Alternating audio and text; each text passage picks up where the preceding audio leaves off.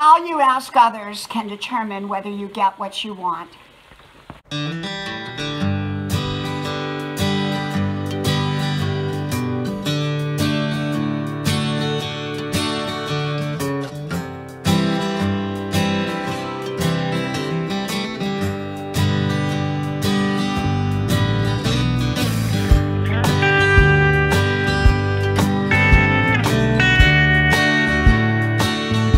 How you ask others can determine whether you get what you want. Hello, y'all. I'm Dianna Brianne. I don't give advice, suggestions, information, recommendations. I do share with you my perspective on different topics.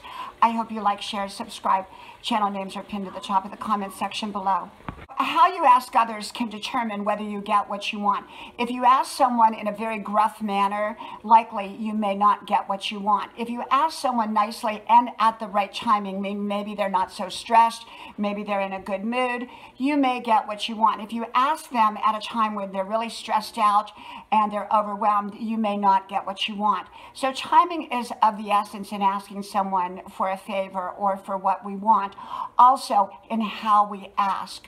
Like I said, if we ask in a, a non-polite manner, we may not get, probably won't get what we want, at least not in the way that we want.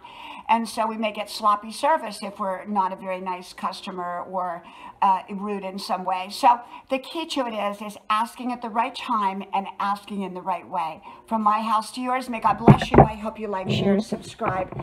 And I hope to talk to you soon again. Bye-bye.